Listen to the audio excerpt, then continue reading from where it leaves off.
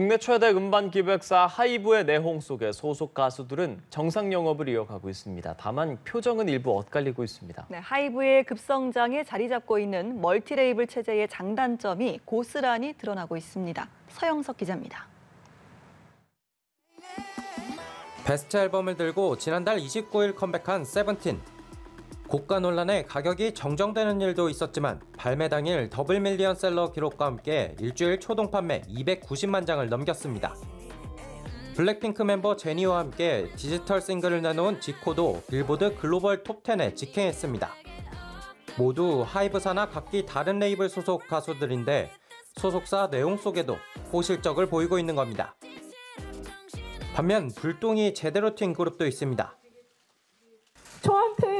박지원님이 부탁을 한 거예요. 뉴진스 홍보하지 말아달라고 르세라핌 나오기 전까지 민희진 걸그룹인 것처럼 착각을 시켜야 된대.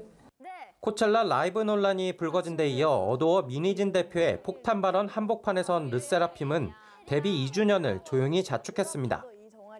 하이브 막내딸로 데뷔한 아일릿도 낙인처럼 카피 논란에 휩싸였습니다. 전문가들은 여러 소속사를 인수하는 멀티레이블 형태로 몸집을 키운 하이브의 성장통이라고 진단합니다. 회사 전체적으로 보면 어딘가에서는 항상 조금 논란이 있을 수 있는 가지 많은 나무에 바람 잘 날 없다고 예, 그런 것이 또 멀티 레이블 체제의 한 특징일 수는 있는 것 같습니다. 법적 다툼과는 별개로 멀티 레이블 운영의 통제 강화냐, 자율성 보장이냐는 앞으로 풀 숙제라는 겁니다.